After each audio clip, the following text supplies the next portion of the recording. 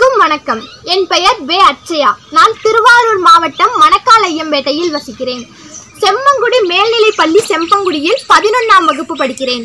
பெற்றோர்கள் குழந்தைகளை எப்படி வளர்க்க வேண்டும் என்ற தலைப்பில் பேச உள்ளேன்.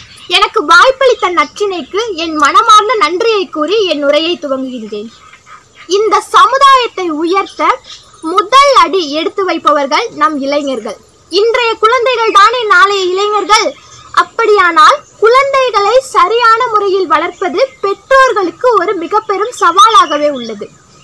ஒரு தாய் அல்லது தந்தை தன் குழந்தையிடம் அன்பு அறம் பண்பு பணிவு உண்மை நேர்மை ஒற்றுமை டிசிப்ளின் டீசன்ட் இந்த மாதிரி வார்த்தையெல்லாம் சொல்லவே சொல்லாதீங்க.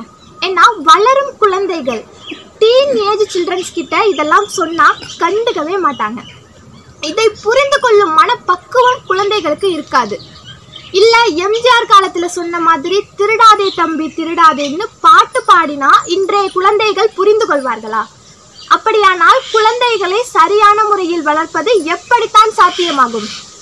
இந்த கேள்விக்கு விடை மென்டலி அண்டர்ஸ்டாண்டிங் அதாவது குழந்தைகளின் வயதிற்கேற்ப மனதிற்கேற்ப மகிழ்ச்சியான நேரங்களில் அவர்களின் மனநிலையை புரிந்து கொண்டு வாழ்க்கை பாடத்தை கற்பிக்க வேண்டும். சில பேர் சொல்லுவாங்க உனக்கு இதெல்லாம் புரியாது அறியாத வயசு. அப்படின்னா புரிஞ்சுக்கிற மாதிரி சொல்லுங்க. இப்ப சமீபத்தில் வெளியான அப்பா என்னும் திரைப்படம் அதில் எனக்கு பிடித்தமான ஒரு வசனம் தந்தை வந்து குழந்தைகிட்ட சொல்லுவாங்க. உன்னால உன்னால எதெல்லாம் என்கிட்ட சொல்ல முடியுமோ அதெல்லாம் செய். நேயர்களுக்கான பரிசுகள். நச்சினை இணையதள பராமரிப்பு நச்சினை வானொலி சேவை நச்சினை யூடியூப் சேனல் மற்றும் நச்சினையின் சமூக செயல்பாடுகளுக்காக W W dot Nachchinai dot ORG என்ற இணையதளத்தில் நன்கொடை பகுதியை அழுத்தி நச்சினை அறக்கட்டளைக்கு சிறு தொகையிலும் நிதியுதவி செய்யுங்கள். நீங்கள் அளிக்கும் ஒவ்வொரு ரூபாயும் நம் தமிழ் சமூகத்தின் வளர்ச்சிக்கு மிகவும் உறுதுணையாக இருக்கும். சிறு துளிதான் பெருவெள்ளம். அது சரி. எதெல்லாம் என்கிட்ட சொல்ல முடியாதோ அதெல்லாம் செய்யாத ஏன்னா அது தவறு.